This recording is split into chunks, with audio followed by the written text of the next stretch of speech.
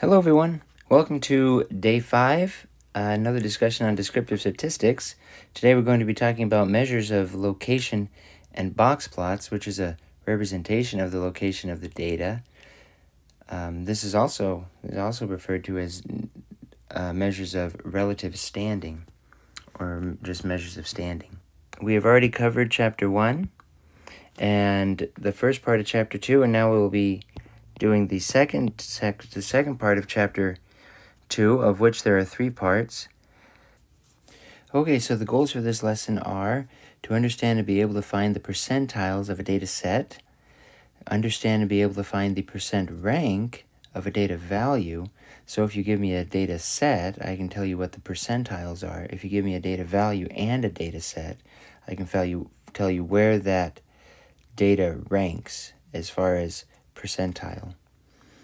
Um, then we want to understand to be able to find quartiles, understand to be able to find the five number summary, and to know how to read and create box plots and be able to identify outliers. So that's what we're looking at today. This is all in the context of univariate quantitative data. So this is just one list of numbers. Okay, so first let's talk about the percentiles of a data set. I give you a data set, I say, what's the percentile? What's the 50th percentile? Something like that. Okay, so the percentile of a data set is a number where a certain percentage of values from the data set fall below that number. It divides ordered data into groups of 1%. So 1 one hundredth of the data is in each percentile. The kth percentile of a data set is a value. So we were going to refer to that as a value. Possibly outside of the data set, such that k percent of the data is equal to or less than it. Okay, so here's an example on the graduation record examination, the GRE. If you score in the 78th percentile, you scored the same or better than 78% of test takers. How is the percentile of a data set computed? The first thing to do in finding the kth percentile of a data set is to find all of these values. So first, n, the total number of values in the data set, total number of scores, for instance. K is the percentile you are interested in, for like 25th percentile, that would be K equals 25. I is what we're going to compute, that's the locator that gives the position of a value from the sorted data. Okay, so that gives us the position of a particular value. And then pk is the kth percentile. So p25 is the 25th percentile. And that is an element of the data range. So if your original data was uh, heights, then P25 is going to be some height for which 25% of the heights in your data set are the same or less than it. And so this is a sort of data value. Okay, and i is the location of that data value. So what you do is you plug in this, the k and the n into this formula, and you get out an i. Now what you do with that is that if i is an integer, then just simply take the ith data point from your sorted data set.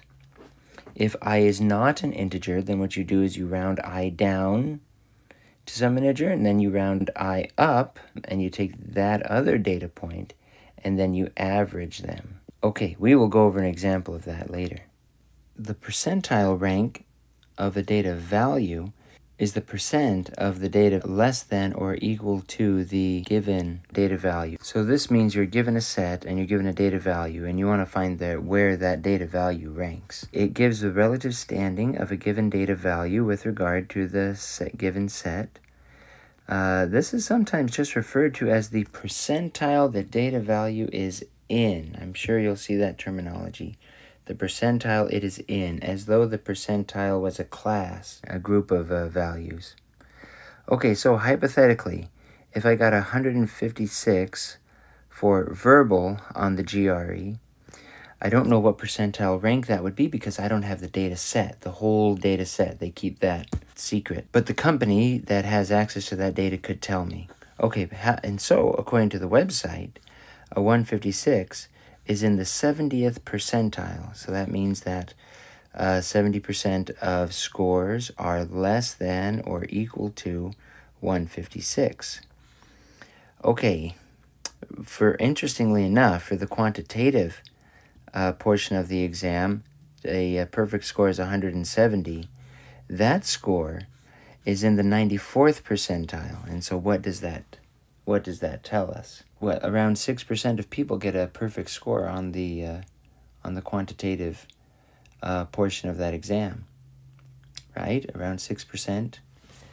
So so that's interesting. Okay. Percentile rank of a data value. So to find the percentile rank of a given, given data value, you need n, the number of the, the number of values in the data set. X is the number of data values in the set that is strictly less than the data value, and y is the number of data values in the set that is equal to that. k is the percentile rank that you want to find. Um, so what you do is uh, you you put in x, you put in y, you put in n, you plug it into this formula, and then you simply just round to the nearest integer.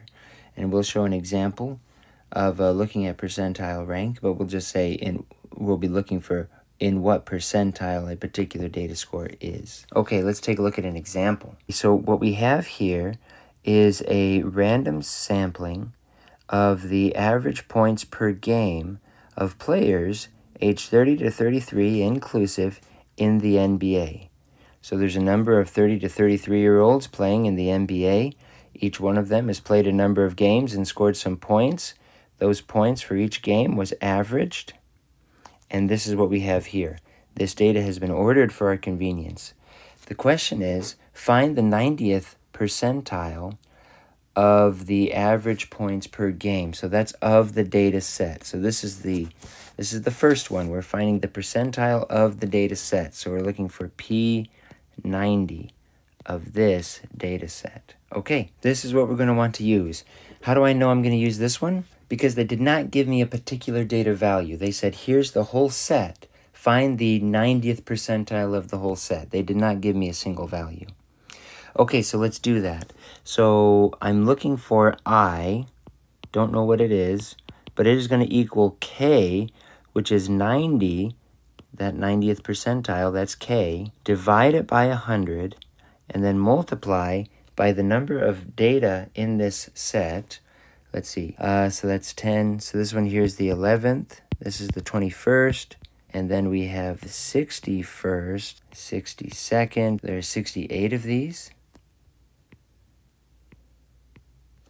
68 plus 1 is 69.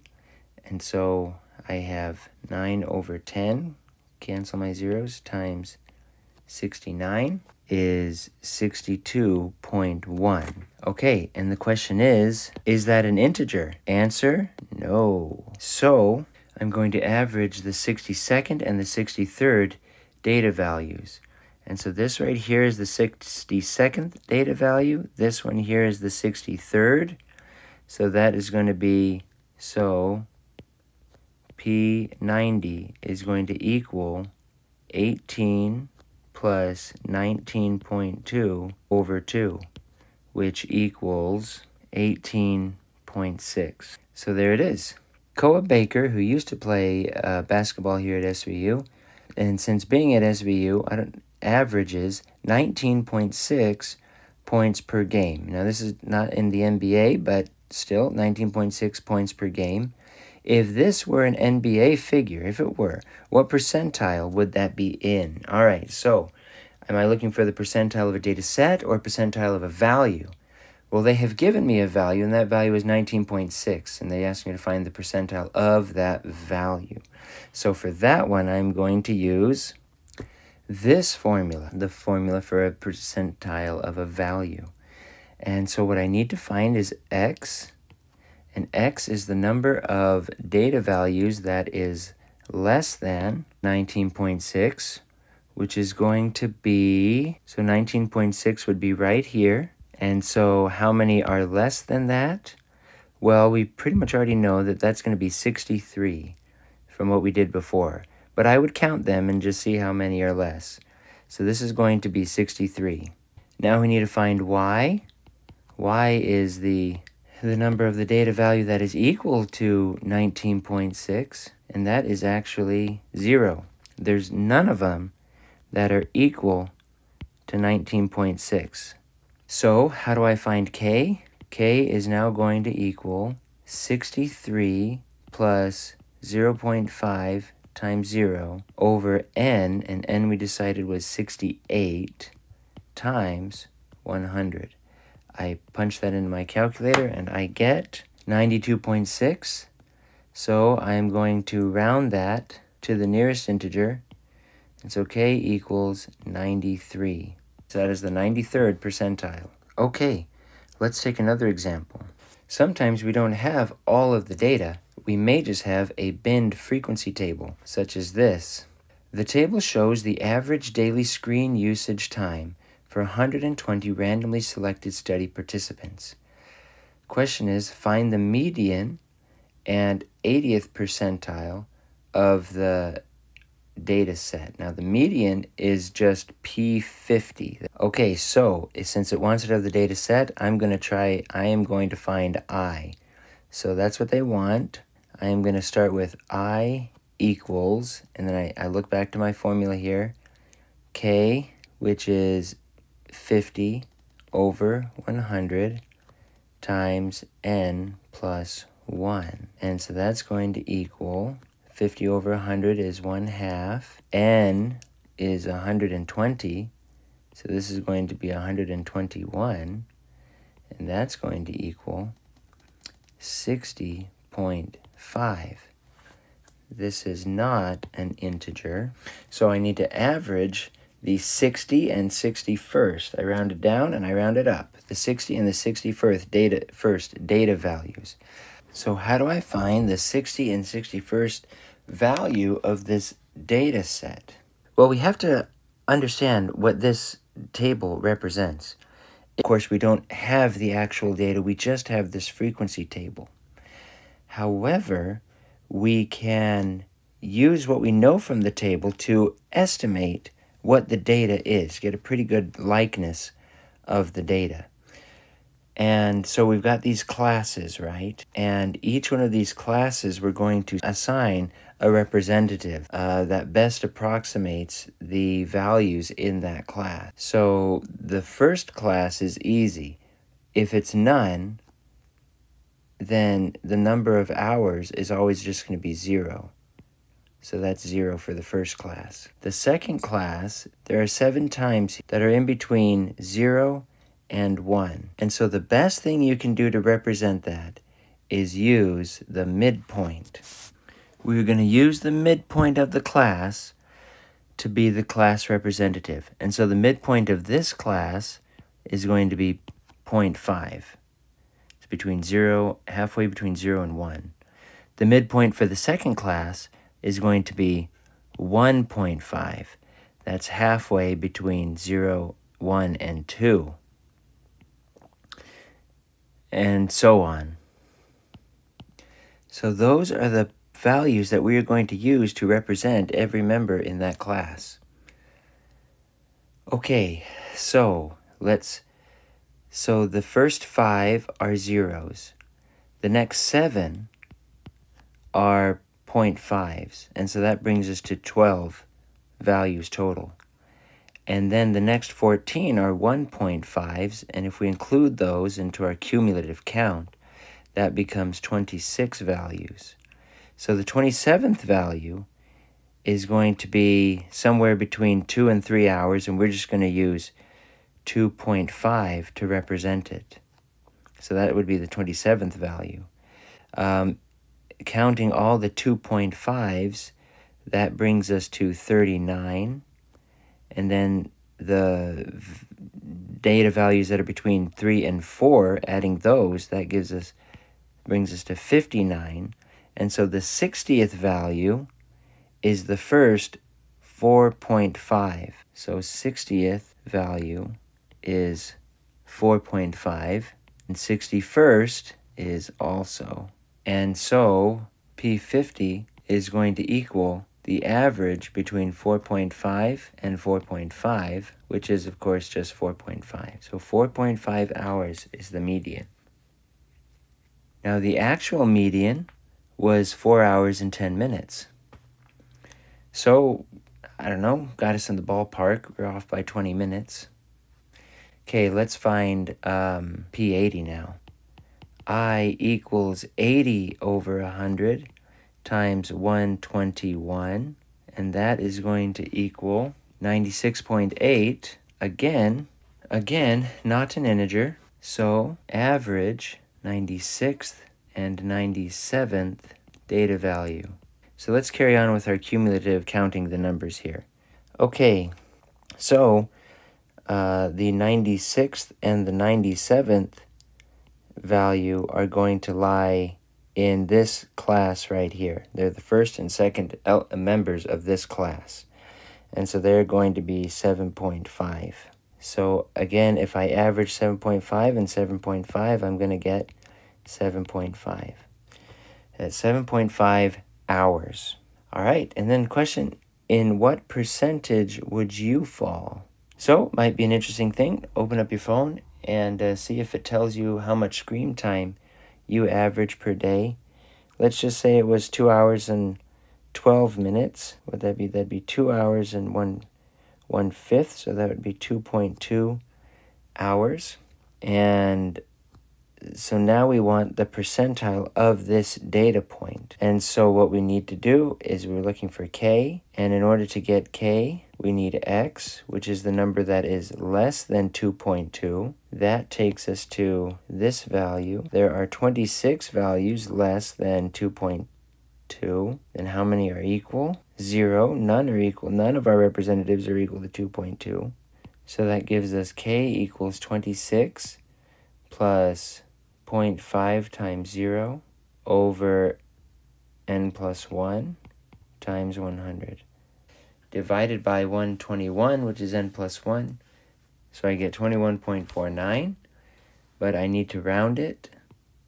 So that's going to be 21 so somebody who got 2.2 hours of sleep are about in the 21st percentile. Okay, now we can do the same thing using a histogram. So let's do that. The histogram shows the average daily screen usage time for 100 randomly selected study participants. Now what we want to do is find the median and 80th percentile of this data set. So again, I'm just going to look at, uh, so I want P50. In order to get there, I need to find I and i is going to equal uh, k, which is 50 over 100 times n plus 1, which is 101. And this gives me gets me pretty close to, so that gives me 50.5. And so I need to average the, not an integer, so I am looking for the 50th and 51st. So, we this is a histogram and we've got and the bins are in hours. So our representatives are going to be 0.5, 1.5 and so on. So let's take our cumulative uh our cumulative frequency count. So we've got 8 and 6 and so this is going to be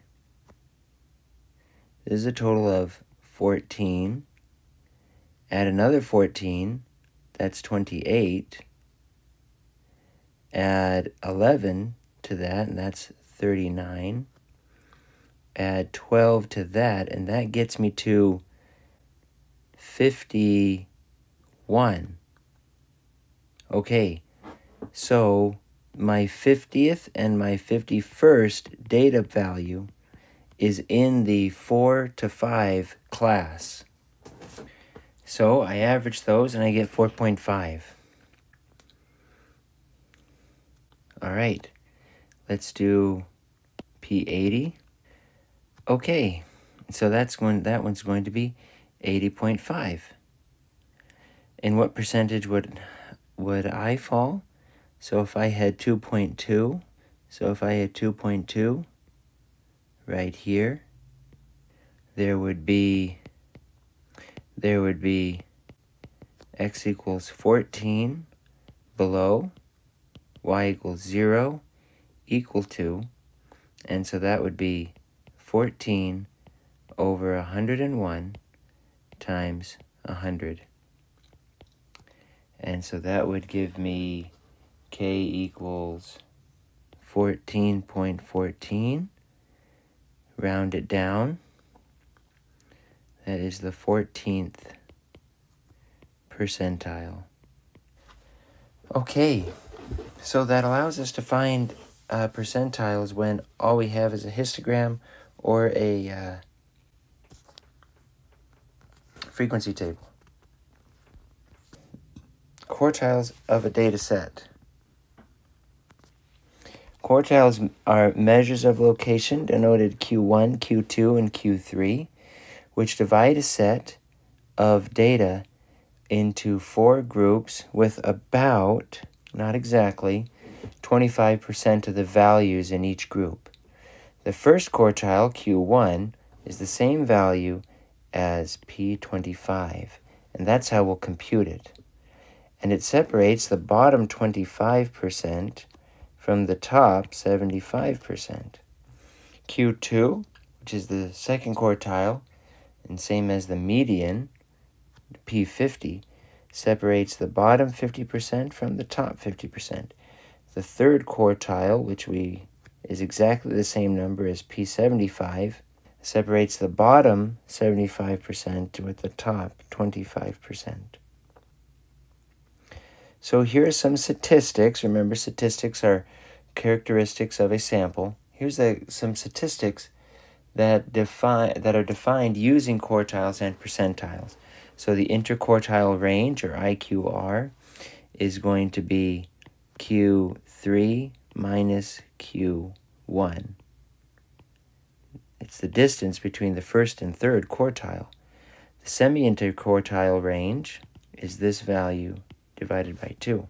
And the 10 to 90 percentile range is P90 minus P100. The five number summary is for a set of data is uh, consists of these five values. The first one is the minimum, then the second one is the first quartile, then the second quartile or the median, then the third quartile or the maximum, and the maximum. Here's an example. Compute the five number summary of the happiness scores of Western Europe. This is associated with a, uh, a very interesting study in which the happiness of different countries was uh, tried to be quantified. So these are all in order from um, least happy to most happy. And uh, let's so let's find the five number summary here. So one, the first one is the minimum. That's going to be 5.003, 033. Now I need to find 2 is Q1. And Q1 is the same thing as P25. So to find P25, I'm going to have I equals 25 over 100 times n plus 1. So n is going to be 20 plus 1, so that's 21. And so for i, I get 5.25, which is not an integer. And so I'm going to average the fifth and sixth values. For that, I will use my calculator. 6.4195. So with percentiles, you always just round it one more than the original data. So the original data was rounded to three decimal places, so I'm going to round one more than that. Okay, for, okay, now I need to find the median, which is Q2, which is P50. I am going to take K equals 50 over 100 times n plus 1 again, which is 21. That gives me 10.5. And so I need to average the 10th and the 11th values. That is going to equal 6.907 plus 6.929 over 2, and that gives me 6.918. So for Q3, I'm looking for P75. I use I equals 75 over 100 times 21, and I get 15.75. And so I add, need to average the values of the Netherlands and Finland, and I end up getting 7.376. And then for the fifth and final number in my summary, that is going to be the maximum. So that's going to be 7.526. There is my five number summary. Next thing we're going to talk about is box plots or box and whisker diagrams. Um, a box plot is a representation of a data set that consists of, first, a scaled underlying number line covering the range of the data a line extending from the minimum from the minimum value to the maximum value, and then a box with lines drawn at the first and third, first, second, and third quartile. I'm going to uh, demonstrate that in an example. But first, let's talk about outliers. An outlier is any data value whose distance is either below Q1 or above Q3 by more than 1.5 times the IQR. Sometimes outliers are indicated on a box plot, and I'll show you how that is. Okay, so the example here is going to be we're going to make a box plot of the Western European happiness scores. So let's go ahead and grab those scores. All right, so there they are. So the first thing I need to draw is my underlying scaled uh, number line. I'll put 5 right here, and then I'll put, oh, let's maybe put 8 right here. There's my number line. So put a 6 right here, 7 right there. There's my scale number line. Now above that, I'm going to start putting in those, those points. So now I need a line that goes from the minimum, which is 5.03, and it goes all the way to 7.526. So that's pretty close to about right there. And we've got a line that connects them. Now what I need to do is draw a box that has sides at Q1, Q2, and Q3. So Q1 is 6.4, which would be a little less than 6.5. And then 6.9 is Q2, the median. So that'll be about right there, somewhat close to uh, about right there, somewhat close to 7. And then Q3 is 7.3, so maybe something like that. And that is my box and whiskers plot. Let me just put in a few more things here. Yeah, so there's my block, my box plot. So, so notice that this right here is my median, meaning this is this this covers half the data. So this data, this half of the data, is more spread out than other half. And this quartile right here is very spread out. So that's interesting. It's very spread out. Now this box plot here is going to have a pretty wide um, interquartile range. And so you would not, I would not expect any outliers. Okay, so let's summarize what we did. So we discussed the percentiles, which included two major topics. The percentiles of a data set, which was a data value, or the percentile rank of a data value given a data set, which was a percentage. Then we talked about quartiles and the five number summary, and then we talked about constructing box plots. Okay, so that's that. Have a wonderful day, and we'll see you in class.